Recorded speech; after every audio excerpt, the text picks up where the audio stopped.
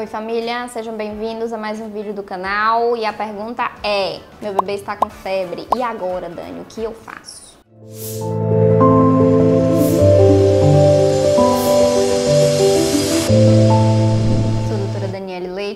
Pediatra, e hoje eu vou tirar um pouquinho do seu medo sobre a febre do seu filho, tá? É isso mesmo.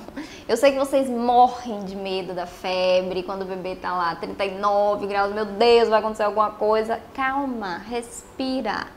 Vamos entender primeiro o que é a febre.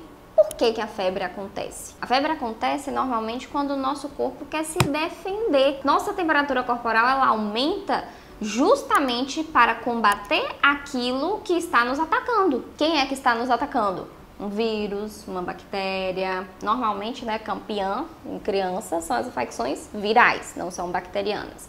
Mas a febre vai acontecer em todas essas infecções.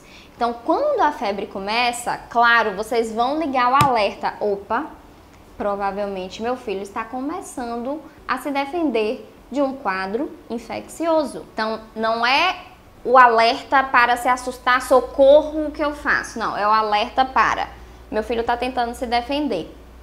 E eu vou precisar ajudá-lo e vigiá-lo. Ter medo da febre não vai adiantar em nada, só vai deixar vocês mais desesperadas, loucas, pensando coisas piores. Não vai ajudar. Então, entenda, ele está tentando se defender. Olhe para o seu filho, observe o seu filho, como ele está. Não olhe para o termômetro, não olhe para o número. Vocês têm que olhar a criança de vocês. Vocês têm que aprender a observar o comportamento da criança de vocês. Seu bebê tá rindo, jogando tudo no chão, na sua cara, rindo de sua cara, com febre de 39, tá tudo bem. É só o corpo dele tentando se defender. Agora, seu bebê tá lá jogado, mole, não quer brincar, não quer fazer nada, não aceita comida, não tá aceitando líquido direito, aí sim eu preciso me preocupar.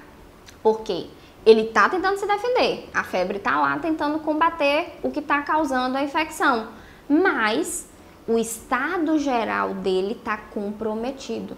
E a gente pode ter as duas situações. A gente pode ter criança que está lá com 40 de febre, botando a casa abaixo, que é o que a gente mais gosta, mais quer, e aí você não vai precisar intervir, você vai observar, vigiar.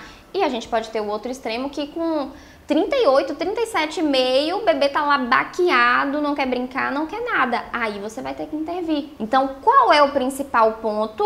Observar o comportamento da criança e não a temperatura. Dani, mas e se fizer convulsão febril? Se tiver que fazer, vai fazer. A gente não vai ter como prevenir isso. Bebês ou crianças que têm predisposição genética a ter convulsão febril, pode fazer convulsão febril com qualquer temperatura. Não é 40, não é 39.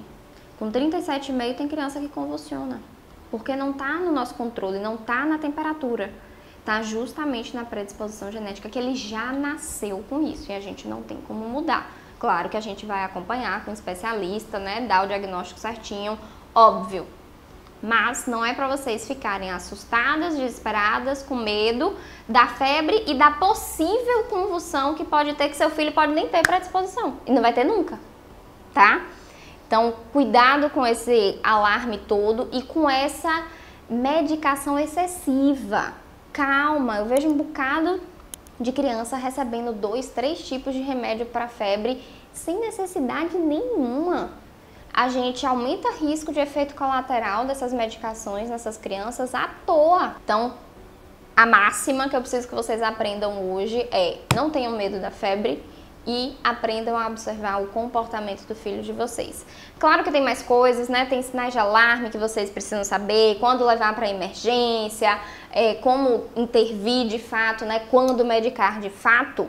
Isso tudo eu explico melhor numa aula da Rede Apoiar. Na verdade, não só eu, né? Eu e uma convidada super especial, uma amiga querida que fez residência de pediatria comigo e que hoje já é intensivista pediátrica, aula enfrentando a febre, e a gente fala mais detalhes, né, explica melhor quando medicar, qual remédio é melhor usar, tudo isso lá dentro da rede apoiar. Mas hoje, recado, não tenha medo da febre e aprenda a observar seu filho.